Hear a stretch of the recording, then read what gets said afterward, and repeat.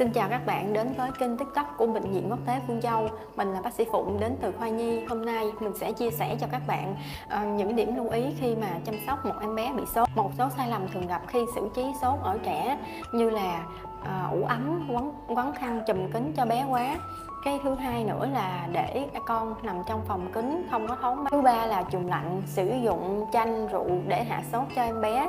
À, thứ tư là mình chỉ sử dụng tay để cảm nhận nhiệt độ mà không sử dụng nhiệt kế để đo nhiệt độ chính xác cho em bé. Từ đó dẫn đến chuyện là lạm dụng thuốc hạ sốt cho con. Thứ năm là sử dụng miếng dán hạ sốt để thay cho việc là sử dụng thuốc. Như vậy thì dẫn đến cái tình trạng của em bé sẽ dễ trở nặng hơn vậy thì xử trí như thế nào khi mà con ở nhà bị sốt? Thứ nhất là mình sẽ mặc cho con quần áo thoáng mát, rộng rãi. Môi trường xung quanh em bé phải sạch sẽ, thoáng mát. Lau, có thể lau ấm cho em bé để à, hạ nhiệt độ xuống.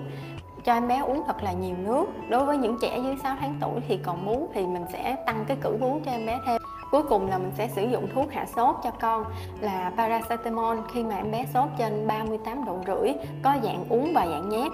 Với liều là 10 đến 15 mg bạc ký thuốc sẽ có thời gian tác dụng sau 30 phút và chúng ta có thể sử dụng liều tiếp theo sau từ 4 tới 6 giờ. Vậy thì khi nào con chúng ta bị sốt thì nên đưa bé đi bệnh viện. À, Thứ nhất, à, sốt đối với những em bé dưới 3 tháng tuổi Sốt khi nhiệt độ em bé sốt trên 39 độ rưỡi Sốt kéo dài trên 3 ngày.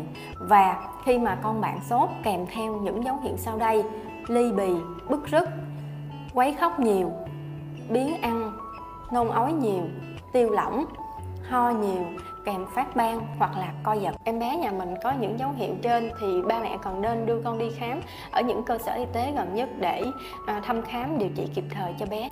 Cảm ơn các bạn đã lắng nghe. Xin chào và hẹn gặp lại các bạn ở những chủ đề tiếp theo ạ. à.